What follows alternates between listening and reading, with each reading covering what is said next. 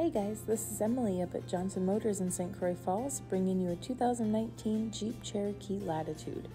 This is a local, one owner trade in, smoke free, four wheel drive with 45,000 miles on it. This vehicle has definitely been well kept.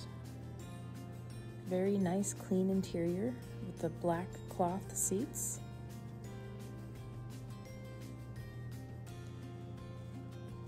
This vehicle has a heated steering wheel as well as heated seats.